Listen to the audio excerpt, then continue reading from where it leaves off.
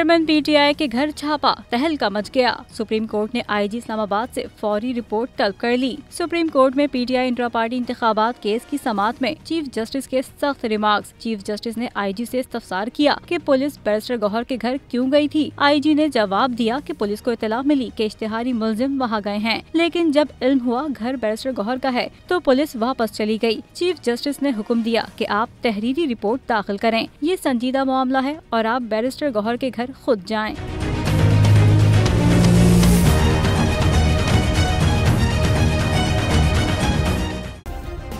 subscribe करें और bell दबाएँ ताकि कोई खबर रह न जाए